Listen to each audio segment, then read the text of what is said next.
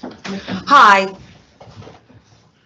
So this is the first time that we've run a live Q&A session um, for Avon Valley Practice and it's a little bit uh, one of those things of a leap of faith to hope that actually this is going to work okay. So please bear with us um, if there's a technical hitch, if things don't flow quite as well as perhaps they should. Now I do have another person with me, the producer, who is trying to make sure that the IT works. So if you see somebody behind me, please don't worry. Uh, he is wearing PPE um, and we are trying to maintain social distancing along with the rest of the population. So uh, we're going to kick off um, by just saying thank you to everybody. Welcome for coming this evening um, and taking the time to to make an effort to to be with us and to find out more about Avon Valley and in particular the um, hot topic is of course the COVID vaccine. So I'm Anna Morton, I'm the managing partner here, and we have various different people also presenting with me. So first of all, we have Nina, she's our practice manager. Okay, fabulous. Um, moving on, we also have Nick, who is our mental wellbeing worker, and hi Nick, and there's also Claire. Claire. Okay. Now we'll present throughout this evening um, and you have a Q&A section. I can see that people have already started asking questions. That's brilliant. They will be published. Um, um, to everybody to see. And if you do like that question, then please do um, find, do like it so that we can see which questions we should answer first or in, in case we don't get to all of your questions, but we will make every effort to do so. Um, any questions that are outstanding by the end of the evening, we will endeavour to um, reply and make a response within the summary of our meeting that we'll share with all patients for those that cannot be with us tonight. Now, um, just as I've been talking, Dr Green has now joined us um, in terms of that. Oh, there we are, waving again. Brilliant, thank you, thank you. Okay, so let's move on now. We're going to go in, I'm going to introduce Nina. She's going to talk about Farm PharmaSelf. Good evening. Um, I just wanted to let you know a little bit about Farm PharmaSelf. So last year you may remember that we spoke about raising funds for PharmaSelf, um, a machine that would benefit our community to enable you to collect your medication 24 hours a day, 365 days a year. Before I update you on how far we've come with our project, I would like you to watch the following short video explaining PharmaSelf in nutshell.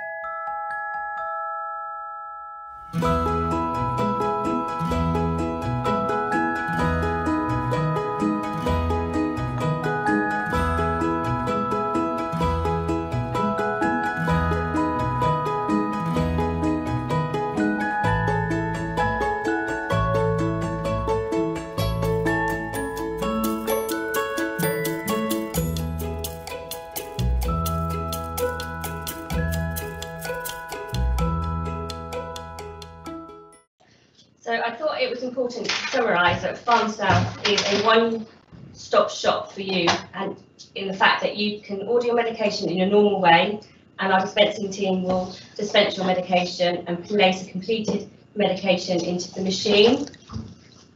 You will, you will still receive a text in the normal way that you already do from us, um, but you will receive a PIN code, meaning that you can benefit from sharing this PIN code with somebody else if you want them to collect your medication for you and, and feel secure that um, the PIN code um, is a one-time use only. So you will go to the machine and you will enter the PIN code at the dispensing machine and select the relevant exemption if you don't pay for your medication or by inserting your card into the machine. Um, your medication will then drop down um, from the machine and then you're ready to go.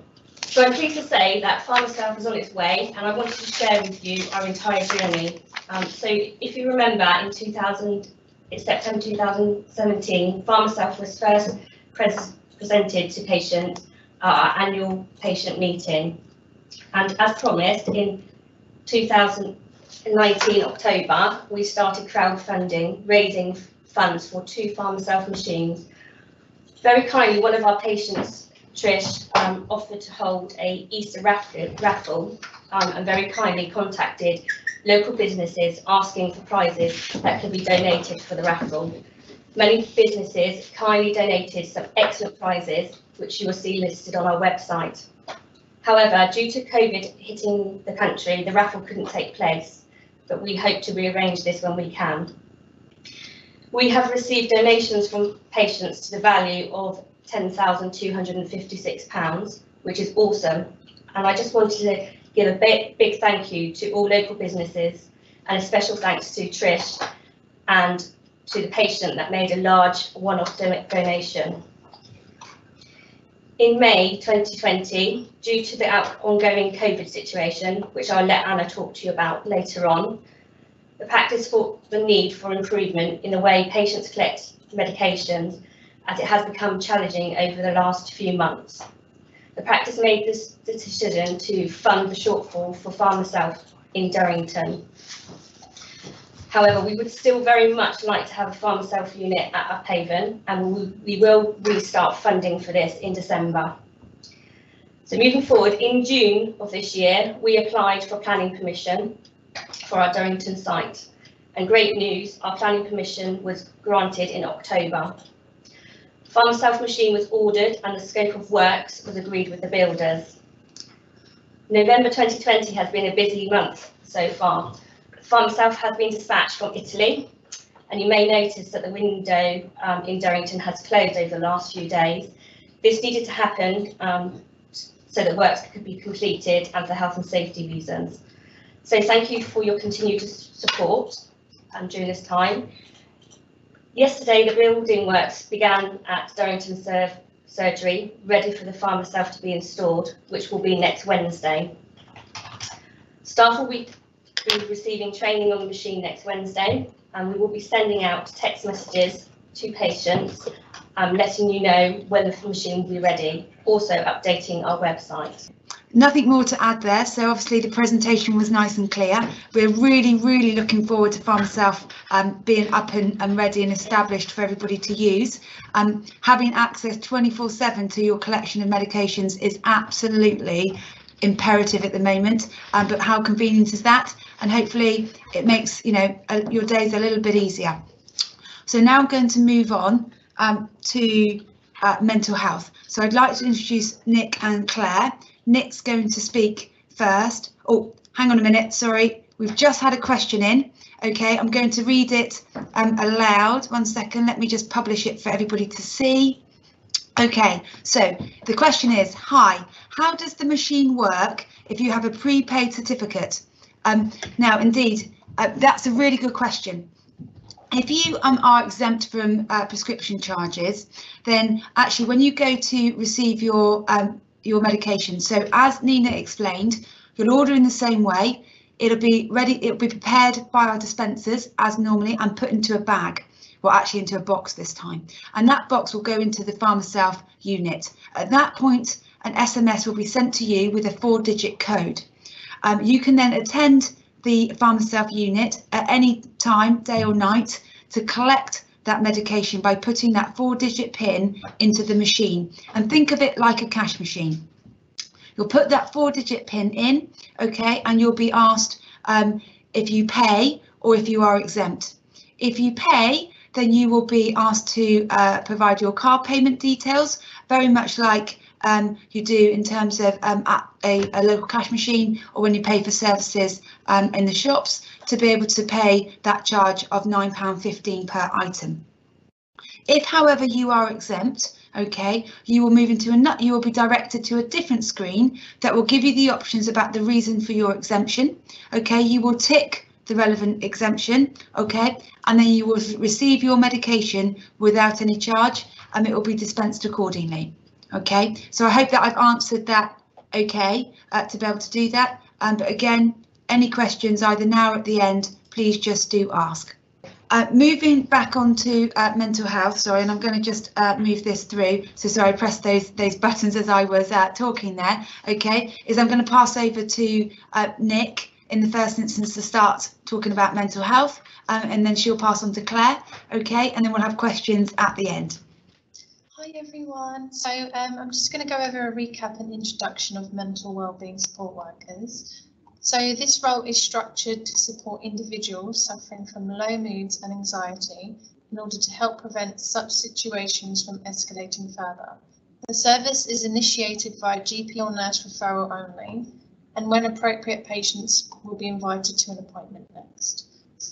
So in present time, we have Claire, who works part-time and has supported 165 patients in the last 12 months, having undertaken 689 appointments, including 89 video consultations. We also have James, who joined 1st of April 2020 as a specialist mental health nurse to support patients with complex mental health concerns. He works part-time and has supported 180 patients since 1st of April 2020, having undertaken 502 appointments. Nick, myself, I joined 1st of October also as a mental wellbeing support worker. So what is mental well-being? Mental health is defined as a state of well-being in which every individual realizes his or her own potential, can cope with normal stresses of life, can work productively and fruitfully and is able to make a contribution to her or his community. Mental well-being is the goal for everyone. Health is a state of complete physical, mental and social well-being and not merely the absence of disease or infirmity. Thank you. I'm just going to pass over to Claire now. Sometimes we may find it hard to motivate others to do an activity, even the simplest ones. The mental health team at the surgery are here to support your needs and listen to all your concerns. If you feel you may need support, call the surgery and book an appointment with the mental wellbeing support worker and they can book you in. Last year we talked about mental health or mental wellbeing support workers and actually Claire was very much at the very beginning of her journey um, to undertake this role um, and hadn't actually started seeing patients. And um, since then in terms of how many people she's seen is over 165 there have been numerous telephone calls face-to-face -face appointments video consultations which I know are, are new um, during the pandemic. And of course, Nick has now joined us because the demand for uh, mental wellbeing support, particularly during 2022, has increased day in and day out. And therefore, to ensure that we're still here for you and have the availability um, to be a point of access is that Nick has now joined the team um, to be able to um, support Claire and offer that those appointments to you. Now, sometimes it is appropriate that you can book directly with one of them, but quite often the case is, is that you'll see one of our GPs, one of our nurse practitioners, one of our practice nurses, um, etc., who can actually refer you on accordingly to make sure that you know they are the best people for you to see. Um, because again, we do recognise that mental health can be quite complex in many different ways, exactly the same as physical health, and therefore, you know, finding you the right person at the appropriate time is the most important thing to do. So Okay, and now since um, we've had we haven't had any questions about mental health, but we have had two more questions posed about um, the PharmaSelf unit, and I think it's probably just kind of relevant to, uh, to answer those questions now. So I'm going to ask uh, Nina to answer the first one, and the first question is, how are you going to sanitize the machine? We will we will sanitize the machine um, every day um, with our Clinell um, wipes. So the the card machine where you um, enter your PIN number will be sanitised by the staff throughout the day. Okay, so in essence, there will be a daily cleaning. There, sorry, in essence, there will be a daily cleaning regime to ensure that actually that machine is kept safe. Of course, we will recommend that you use hand um, you know, you use the um, alcohol gel to make sure that uh, your hands are, are clean after that. But we do know that the medication going into those um, boxes are of exactly the same kind of level of uh, security as what they do if you were being collected the bag from from the window in Durrington or at the counter in Upavon. Now there's another question posed as well, um, and again this is over to you Nina, is how secure is the medication? The, the medication um, is is put into a secure individual box for each patient, um, and that is that is in the inside of the building, um, so it's very secure. And on the outside of the building there is CCTV, so any of the members of staff um, have access to um, the individual boxes for an individual's medication.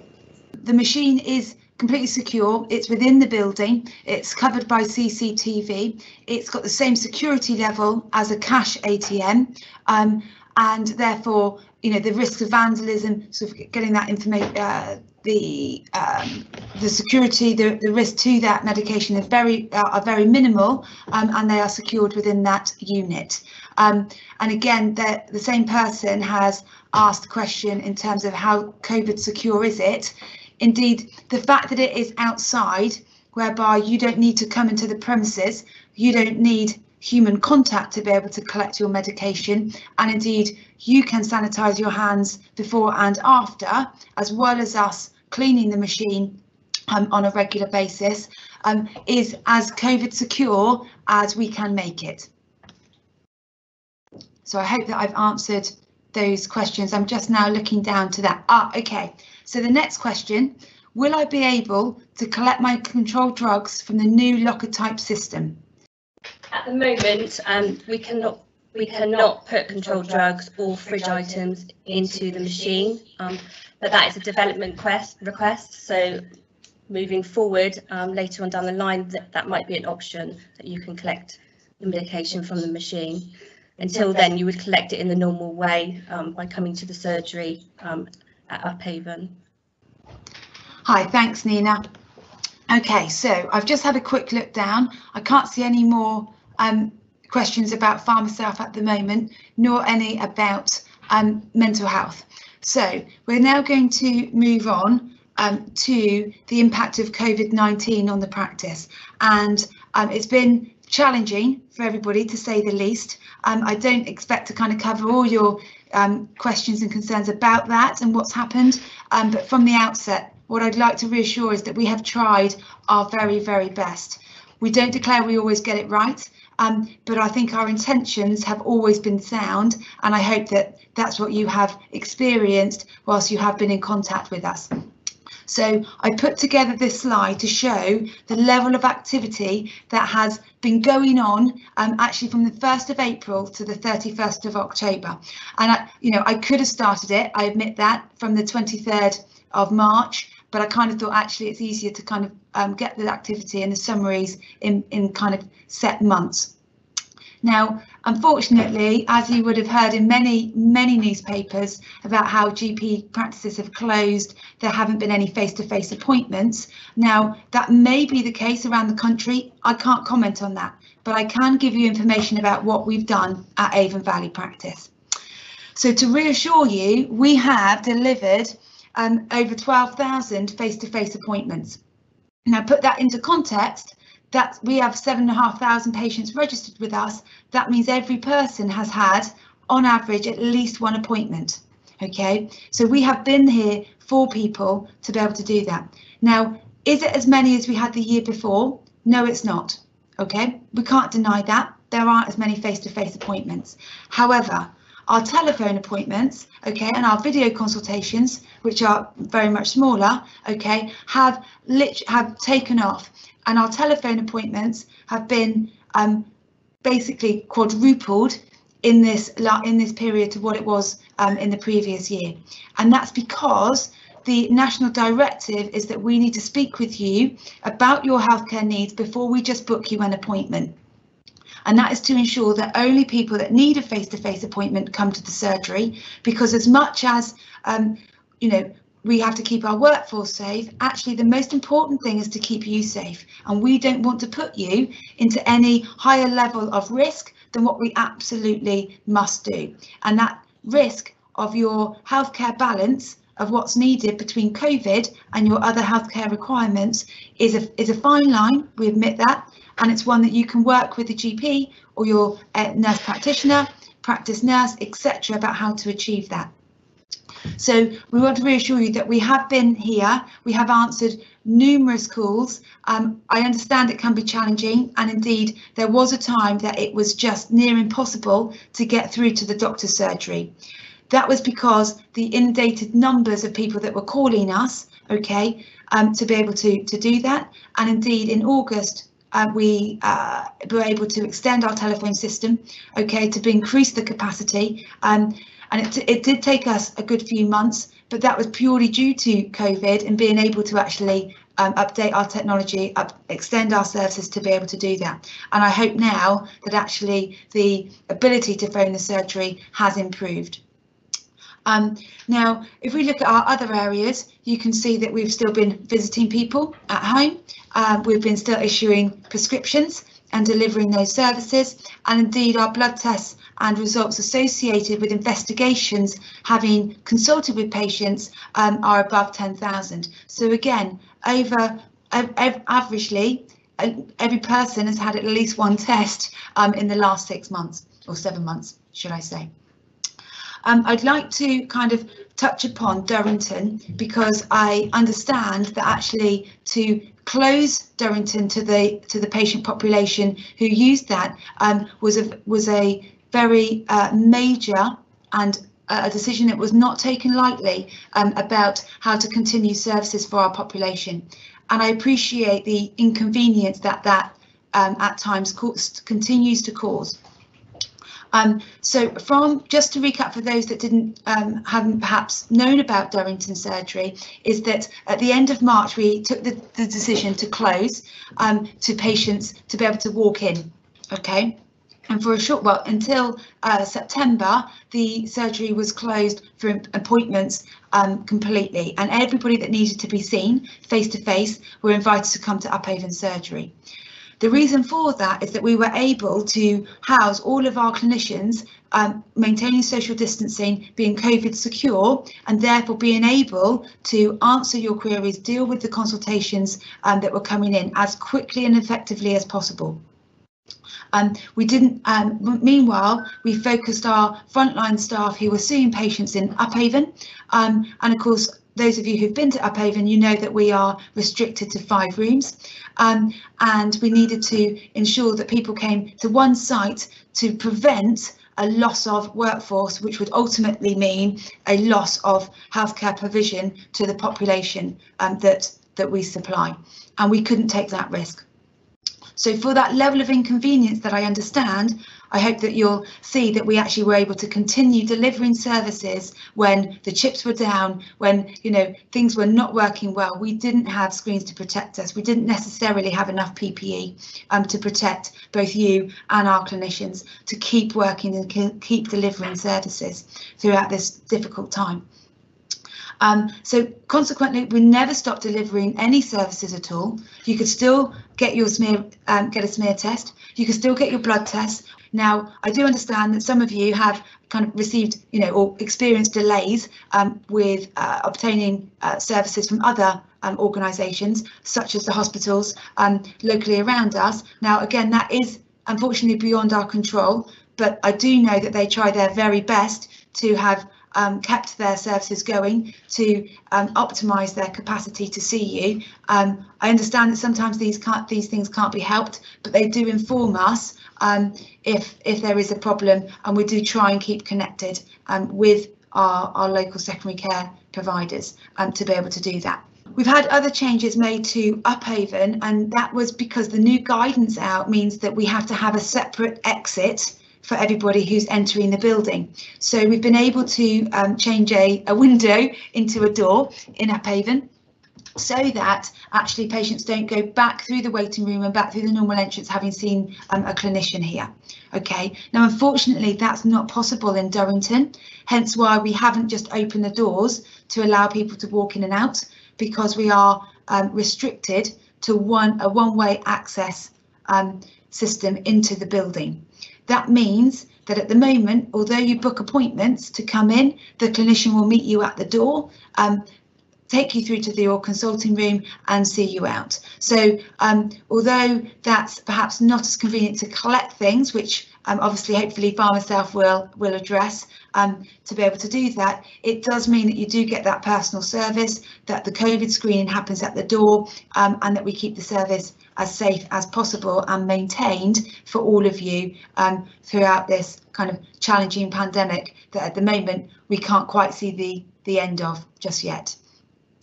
So um, we've got all these going on and I think another point that we need to make in terms of all of these things is about the appointment length because we despite the the numbers despite our efforts to try and do that I think there needs to be a, um, an acknowledgement from us as a practice um, towards you guys is that actually the appointments um, are double in length to what they were before. So although you may still experience a 10 minute appointment we have to allocate 20 minutes to ensure that the clinicians can um, put on PPE, um, see you, take off PPE, clean the rooms and get them ready for the next patient. And so um, our actual capacity on a day-to-day -day basis has reduced purely from the point of view of needing to do all of those extra things that previous to COVID we didn't need to do. So I just kind of wanted you to understand that really and to give that other side of what's what's happening.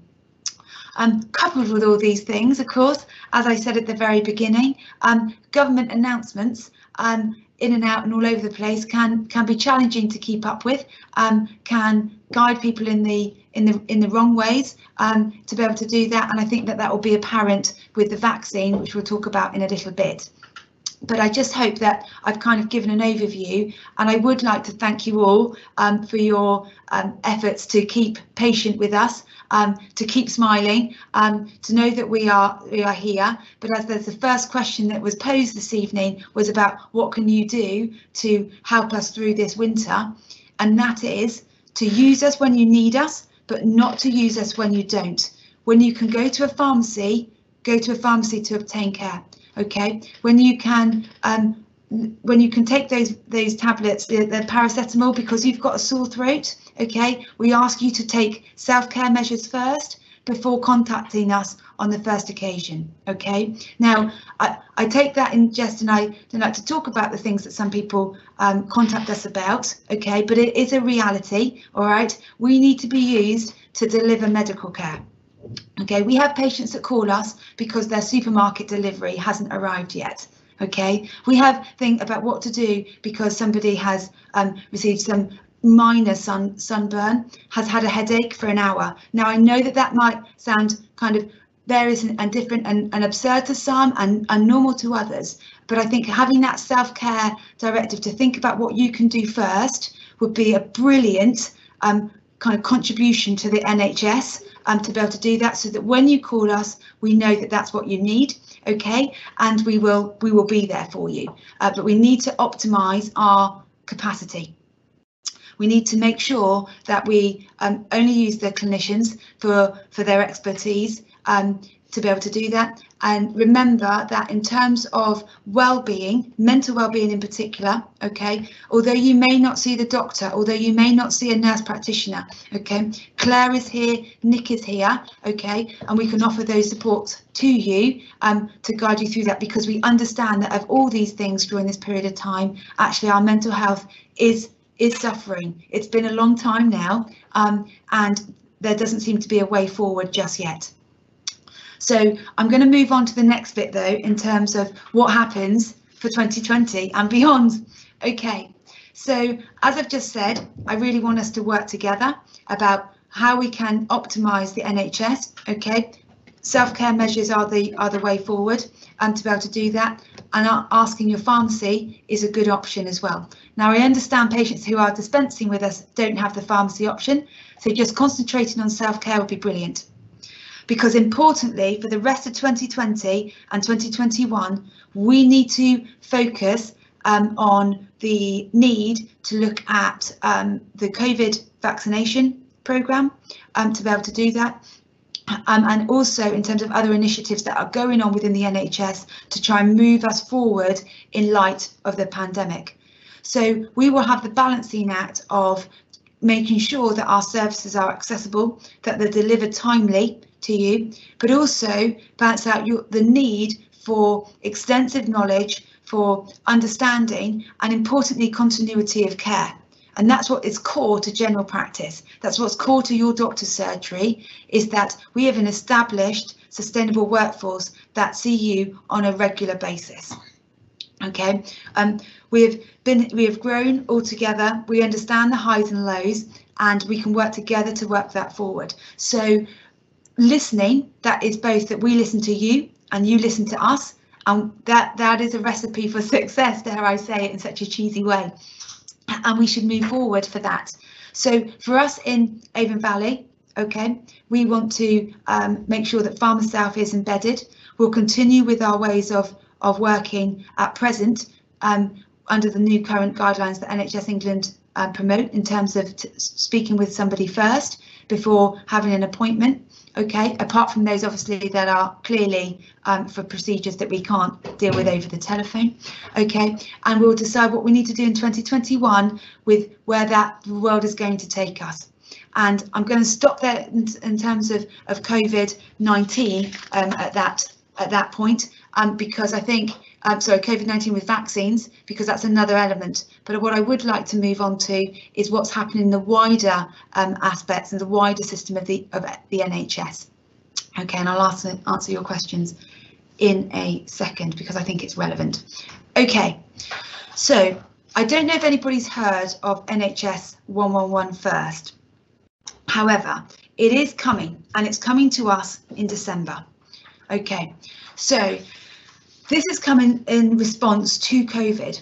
And uh, what they've found is that actually um, secondary so um, accident and emergency, cannot just have open doors, okay, for people to to walk in. They do not, they are not COVID secure to the level of what is needed to guide us through the rest of the pandemic and beyond.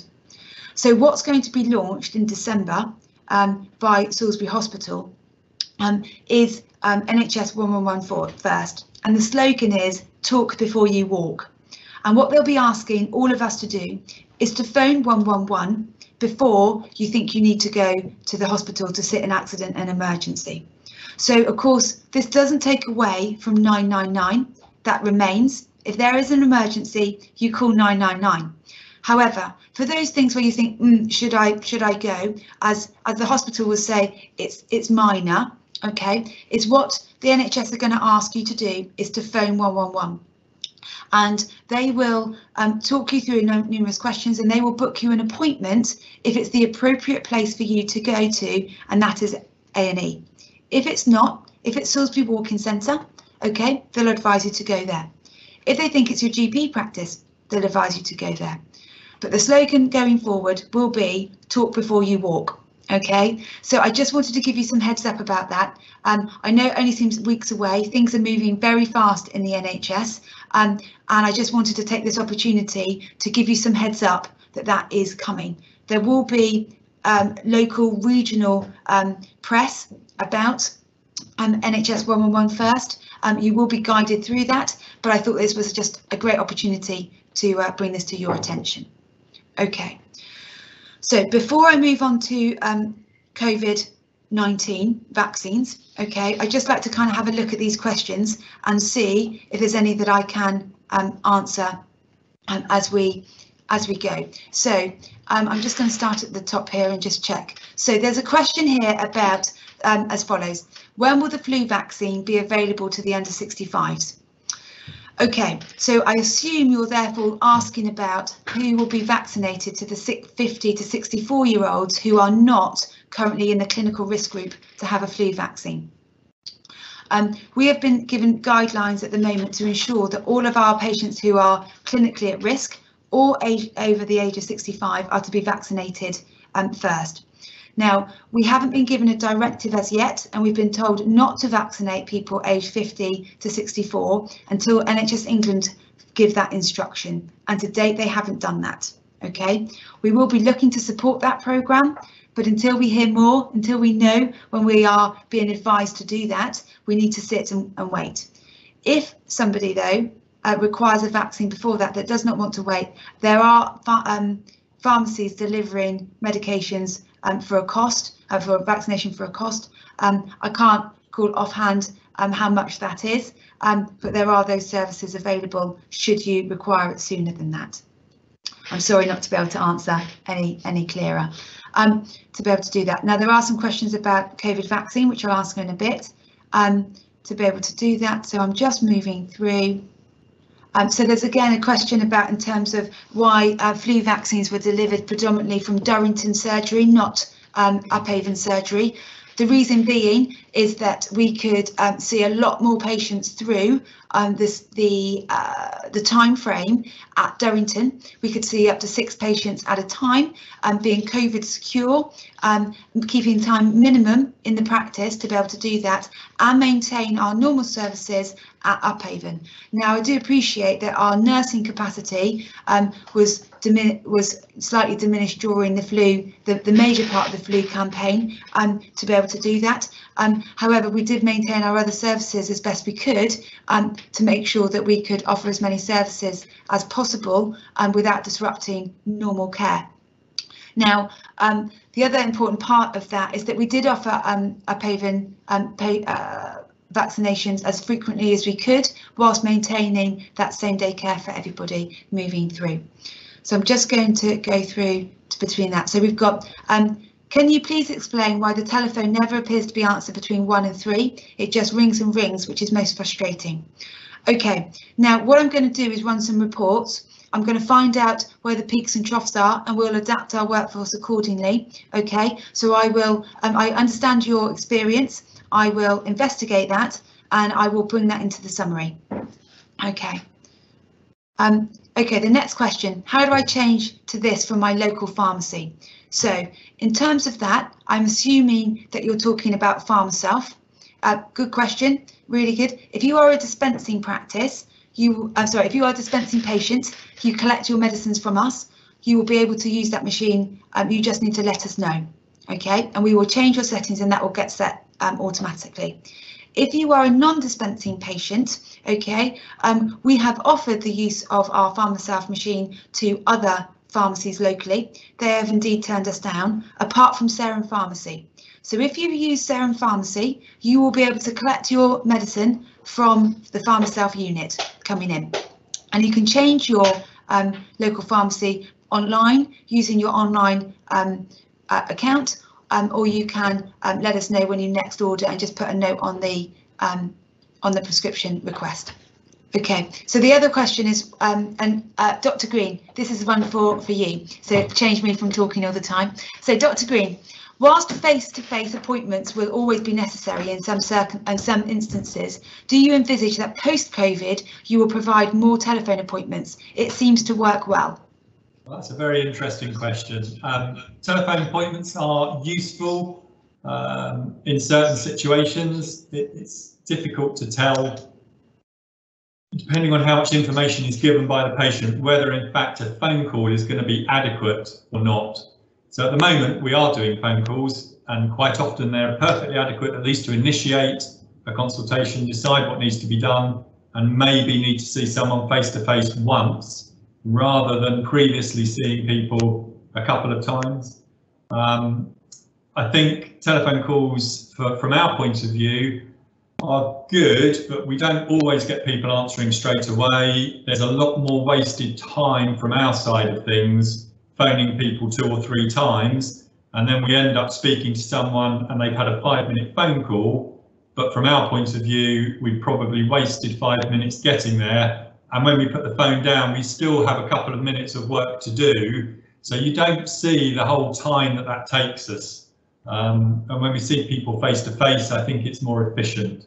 So I think we will do more phone calls, um, but I'm hoping that we can get back to doing really more face to face as well. We'll try and get the balance right.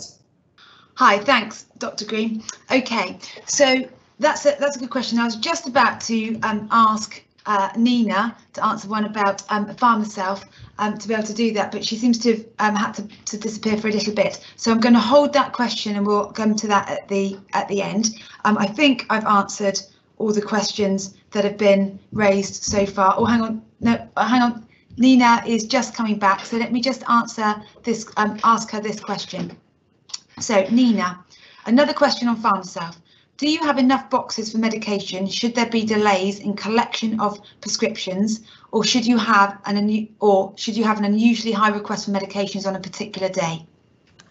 Um, yes, we should have enough um, collect boxes for collection. What we're hoping to do is put the medication into the boxes for a number of days. You'll have a number of days to collect your medication and we're going to tweak that as we go along. So it'll be trial and error at first, but yeah, there should be enough boxes for everybody to collect their medication. Thanks, Nina. Yeah, so we've been guided by Pharmaself to uh, recommend a five-day window at the present time. So that's what we will start with. Okay, um, having um, adv been advised by the manufacturer that um, that's a good place to start, um, and then we'll um, we'll amend it accordingly. Okay, to be able to do that. Now there is another question posed about the being is isolated or being asked to shield, not then being eligible for a flu vaccine, and whether or not that they will be able to have a COVID vaccine. So I'm just going to move that on in terms of COVID in terms of the flu flu jabs, um, there are set national criteria about who should have a um, a flu jab, and uh, without knowing your history and talking with you, that's really difficult to. That's a very personal um, kind of situation and one that I can't answer here. However, um, we will take that up and I will try and contact you afterwards um, to be able to deal with that perhaps tomorrow. Okay, so I'm just now going to move on to the um, COVID-19 vaccination programme. Now, there has been a huge amount in the press, some of it true, some of it not, okay? Now, it's very, very tricky. The reason being is that actually the information was leaked and wasn't shared with any of us. And although uh, that's helpful in some respects, in other ways it isn't. So everything is on the back foot. Um, and I'm just going to move my notes here to make sure that I do actually cover everything because it's so fresh and new in my mind at the moment. Now, importantly, what I'm going to share with you today is the facts, the things that we do know currently right now. I can't say that I can answer any every question. I don't know that yet, but all I do know is that we're trying our very best to make sure this is going to work as efficiently, as effectively as we can from the outset. So to recap, you will be required to have two vaccinations. OK, they will either be three weeks apart or four weeks apart. We don't know which yet. I was told three weeks on one um, on Tuesday. Oh no, four weeks on Tuesday, three weeks today. So we do know that there are two, and we do know that there's a period of um, of uh, well, there's a gap between them, either three weeks, either four. So we do know that. We also know that they need to be stored at between minus 70 and minus 80 degrees.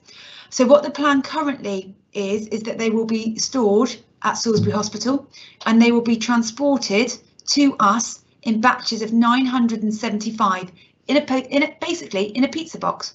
Okay, they're going to be delivered to us and we have to use them within five to seven days. Sometimes it's seven days, sometimes it's five. So we'll have to get clarity on how long it actually is, but they are safe to put into our clinical examination um, and our clinical fridges, okay, and used within five or seven days, okay, to be able to do that. So we do not need to store them at minus 70 to minus 80 degrees. That makes this a lot more viable about how we're going to be able to deliver this vaccine to you. Now, we have been told that the um, the, uh, the government will set up a national call and recall system. That means that patients who are um, required to have the vaccine, are going to be offered the vaccine first, is going to be dictated by the government. Okay, and they will send those people a letter and they will advise those patients that they can either book an appointment at a what's being called a mass vaccination centre, okay, or they can book an appointment with their GP surgery. Importantly, wherever you have your first um, vaccination, you will have to go back to to have your second vaccination. Okay, you can't switch between a mass vaccination centre and a GP surgery. Okay, it will have to be one or the other. You'll book those appointments. Okay, now in the cohort one, that's what we've been told so far. Okay, the latest news is that the first patients to get a vaccine, I will say the first people to get the vaccine will be patients over 80 who live in their own homes, okay, and um, anybody who lives in a residential care home. It will also extend to health and social care workers as well. Now, to put that in perspective, okay, for our practice, that's just over um, three, 350 patients in total. Okay, so we we have that number in our first cohort.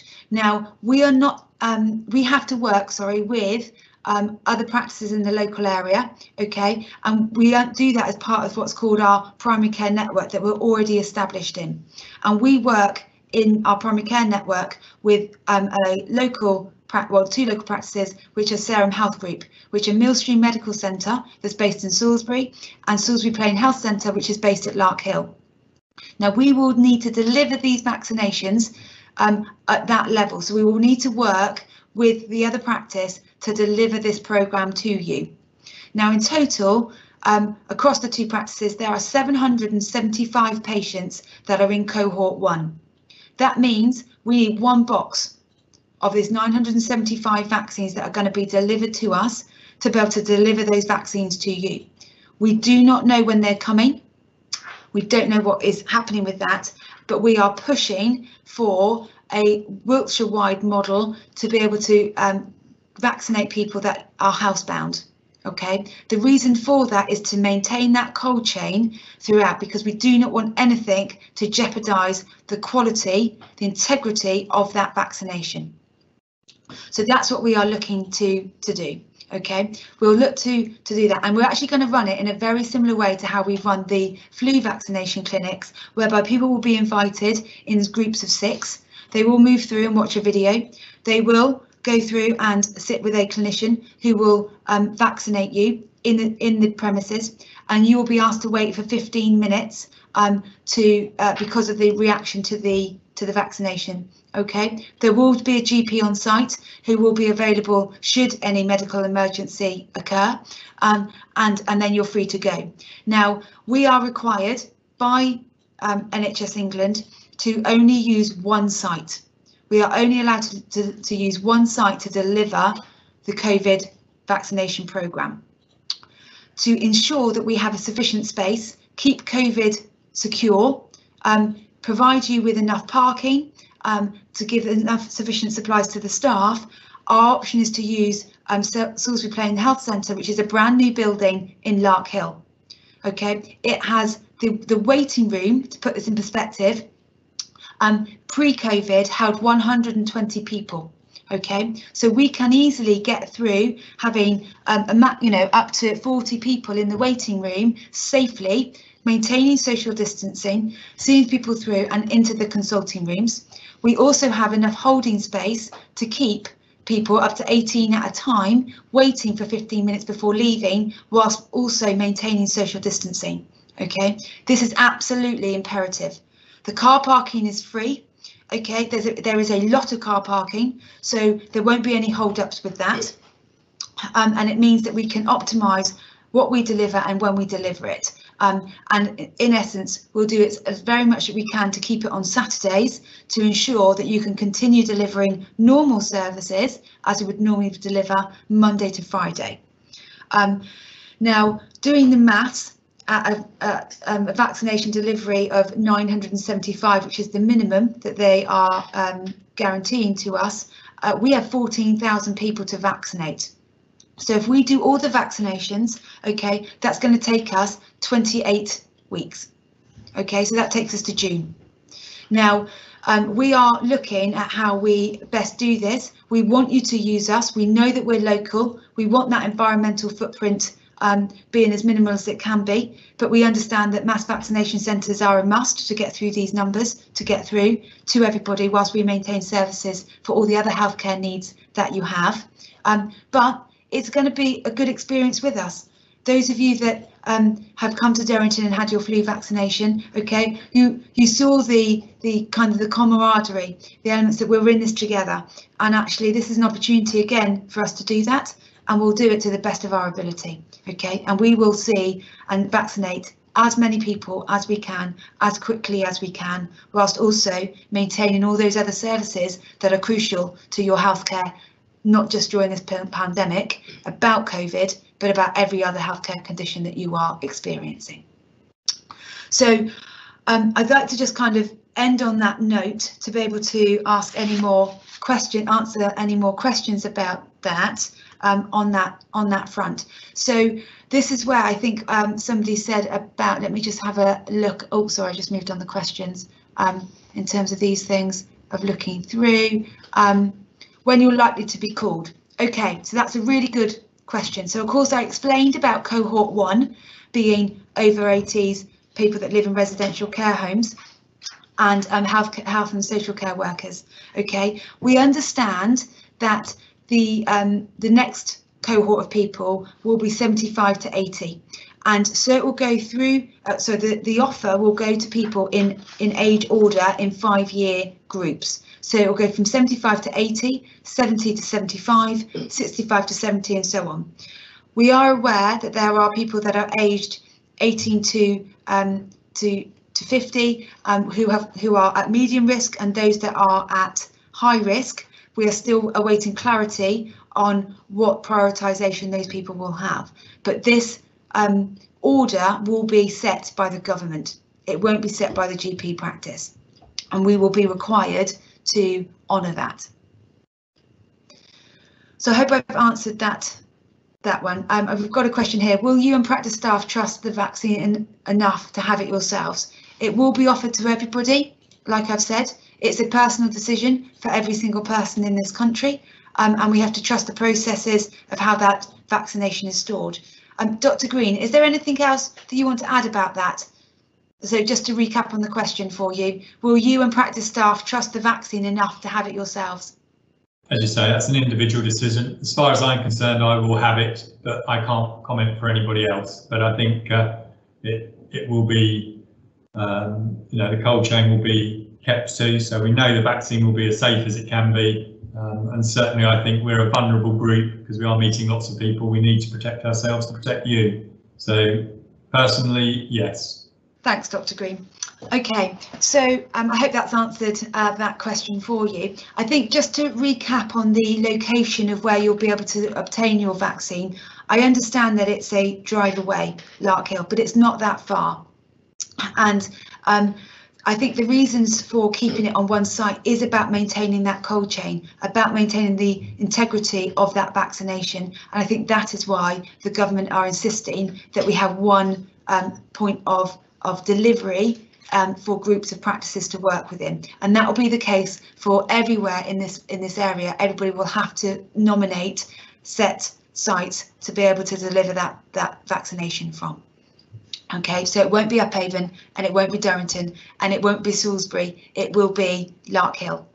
But I hope that that experience will be a very positive one for you and one where you feel very safe um, and one where you know that you will receive the care in the best way forward. How will I know when I'm due to be vaccinated? Okay, so that is that you're going to receive a letter from the government. Okay, you will receive a letter from the government that will explain to you that you can book an appointment at what's being called a mass vaccination centre, um, or you can book an appointment with your GP surgery. So Larkhill is challenging for people with mobility issues. Is it worth letting people know? Um, now, Larkhill is a brand new building. Um, it is uh, what we would call DDA compliant. Um, it has full access um, in terms of ramps, slopes, and it's a huge building. Um, so actually, in terms of mobility, um, if you need support, we will offer that. we have wheelchairs available accordingly and is to let us know that if there's any support that we can offer, um, then to let us know when you're booking the appointment. Um, now I've got another question here. Uh, It says, my wife is classified as clinically at high risk, as is my mum, who is aged 88 and lives with us. Will I therefore be given the COVID vaccine at the same time as my wife and mum to further protect them? As far as I'm aware, I don't think they'll be entitled to it, but if you have any more up-to-date information, if it is purely going to be based on individual clinical need and we're not taking households into account, uh, then I think they'll have to wait until their turn comes. But if you've got any any other information, Anna, please update. Hi, yeah, absolutely. I, I have to say I agree with Dr. Green at the moment. The current guidelines are that it is those that are clinically at risk, not those that who live with somebody who's clinically at risk. Um, so that's what the current guidelines are to be able to to do that. Um, now, just going through the questions, um, um I've got one for Nina um, that poses um, that uh, can people people that don't want to collect their medication from um, PharmaSelf, can they collect it from Durrington still? Um, yes, uh, um, we need to work out um, what we're going to be doing with regards to medication because obviously it is still closed door at Durrington, but we will we will still be able to let you collect your medication. So if it doesn't go into the machine, there'll um, something put in place so that you can collect your medication from Durrington Surgery or indeed Upavon Surgery. But we will keep you updated as what what we're going to do. Thanks, Nina. Okay, so let me just have a look down some more questions. Oh, okay, so uh, let me have a look. What will be the catchment? Um, so, so okay, here's a question. Um, Dr. Green, is the vaccine safe if you might have already had COVID? Um, I guess it is. I mean, we do vaccinate people who've had um, previous infections. Uh, so the, the, shingles vaccine, we vaccinate people who may have had shingles in the past. Um, if you've already been exposed to the virus, then you won't be being exposed to it for the first time. You might get a slightly more uh, localized response. So I guess that you might find that the, the vaccination site might be a little bit sorer than if you've not been exposed to it. Um, that's really just off the top of my head. It won't cause any major issues. Um, it will just boost your immunity. Thanks, Dr. Green. Okay, um, so there's another question posed. What will the catchment area for Larkhill Hill actually be? What's the population size we're looking at for local delivery if vaccine? If vaccine, this will obviously impact on how long the process will take. Now, as I said at the beginning, in total we do have 14,000 people of which we do need to vaccinate. However, when we're looking through the list, actually um, 8,000 of those are of the, um, no, sorry, 7,500 are 18 to 50 without any clinical risk factors. So actually that number could be considered to actually be just below 7,000. Now on that case, bearing in mind what we can deliver, if the government cap us at 975 a week, it is going to take time. We don't know that situation at the moment because we don't know the availability of this vaccine into the UK in the first place. So the important thing here is that is that for us, we will deliver as much as we can as quickly as we can do that.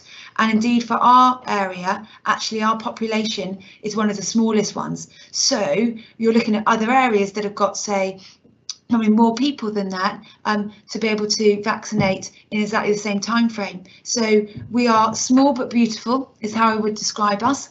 Um, okay, and we will deliver as quickly as we can, but we will not jeopardise services Monday to Friday. Okay, we cannot let you not be seen during the week because you need a COVID vaccine. We need to balance the two. And I think it goes back to that um, slide that I showed you about the weighing scales. Okay, we need to balance um, those things out to ensure that we deliver a holistic care to you. I know that that's tricky. I, it, it's difficult and we're in a pandemic, okay? And we will do everything that we can do. And I think that that's what we can reassure you of. We will try our very, very best.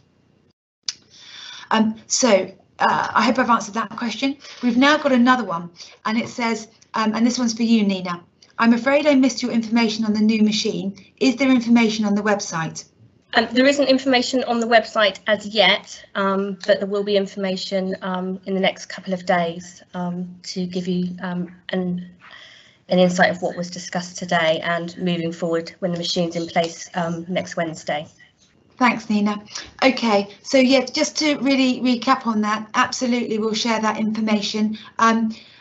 Uh, but in terms of what we're doing, I it's the same as last year, and um, the person that's posed this question was at our meetings last last year. I'm absolutely sure, if I remember the name correctly. Um, and uh, and it's it is that ATM for medicine. Okay, so rather than put your PIN number in and get cash out, you're going to put your num PIN your number in and get medication out.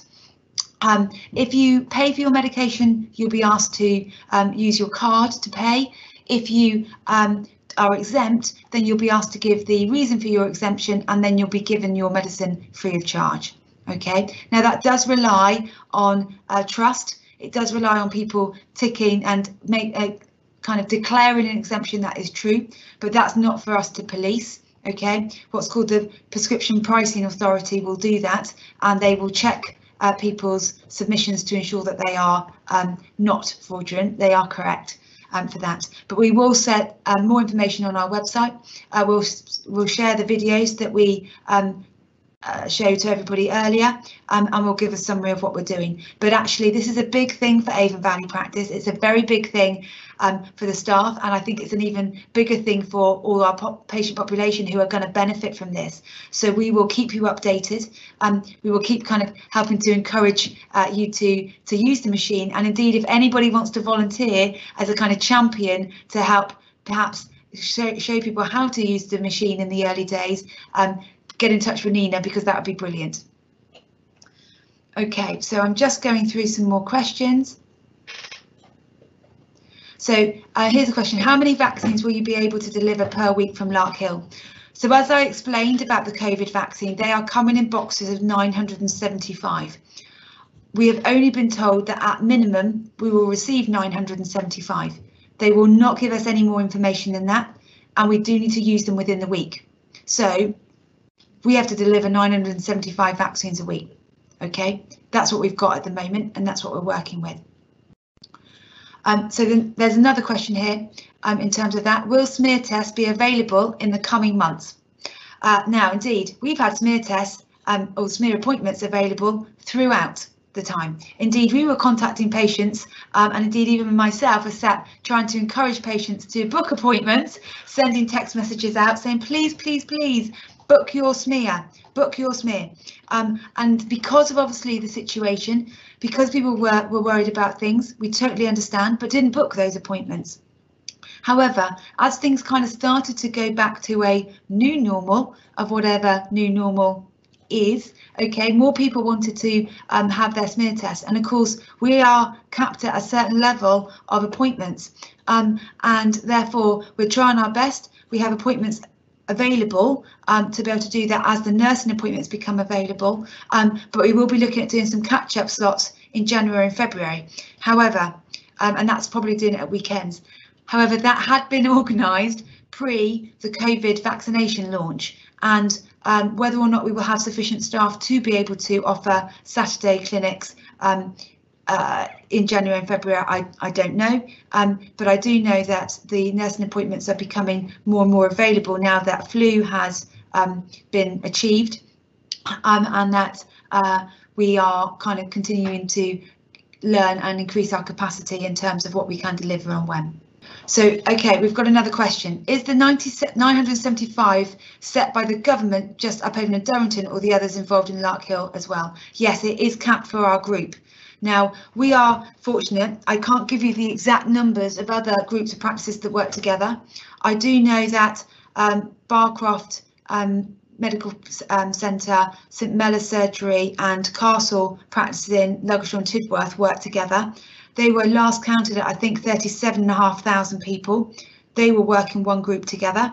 We work in our group at just under 20,000 with Sarum Health Group but that number is set at 975 regardless of how big you are. That is the current guidance that we have.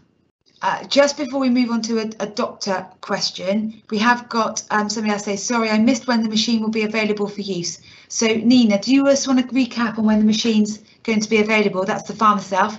So the, the machine is being installed on Wednesday of next week and staff will be receiving training on Wednesday of next week.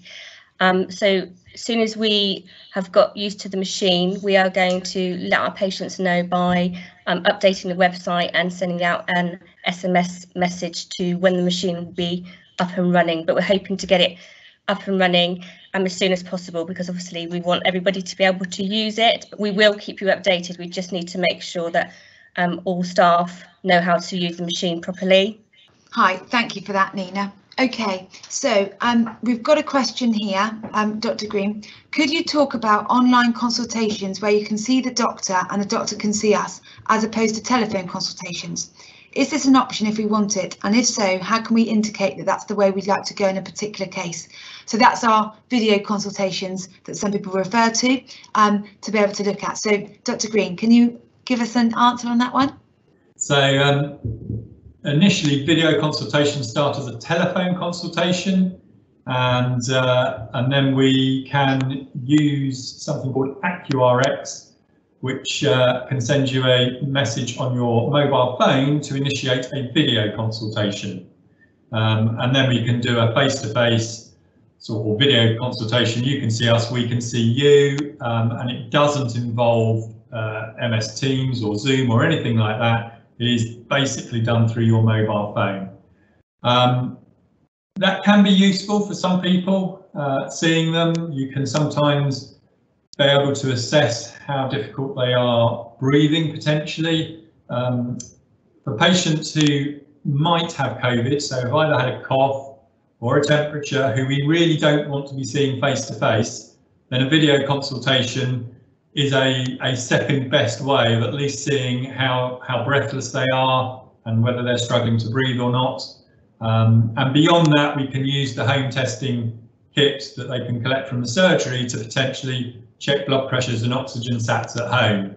But a video consultation that starts as a telephone consultation and then becomes a video just so we can see people uh, probably isn't worth it.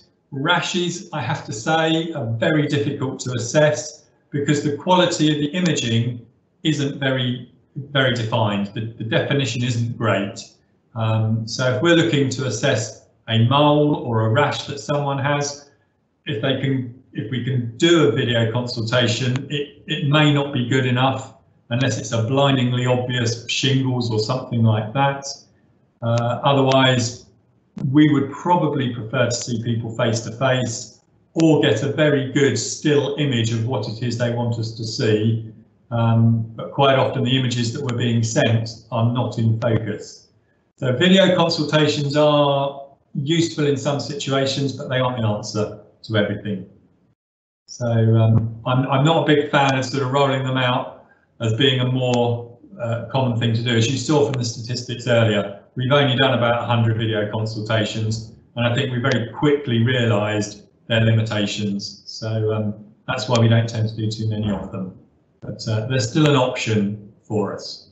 So I was just saying thank you to Dr. Green and appreciating that actually from that medical side that video consultations are not always um, optimal and there are other ways of which we can deliver care. However, Claire and Nick and actually did use video consultations quite a lot for the talking aspects of our consultations whereby you know having to physically um, look at say a rash or something is not relevant to their jobs to be able to do that so I'm just going to pass over to Claire to kind of explain how video consultations work uh, when discussing mental well-being.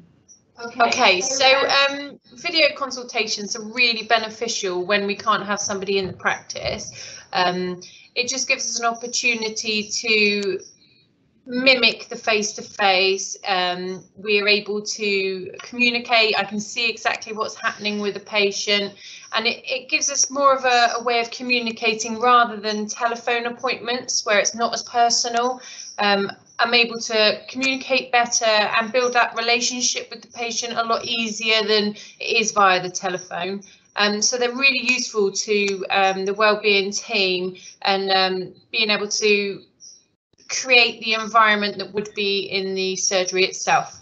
Thanks, Claire. Much appreciated. Nick, is there anything that you want to add about video consultations or the consultations in which you provide care? I think um, we, we also offer just a telephone call as well, which um, is suitable for some people if you don't have video facilities. But um, it is generally um, your choice if you'd like to have video, telephone um, appointments. Thank you. Thanks, Nick, for that too. Okay, so hopefully we've answered that that question. Um, now, there's two things. One is that um, somebody said it's pleasing to hear more of nursing appointments are, to become available. Can you advise as and when this will happen?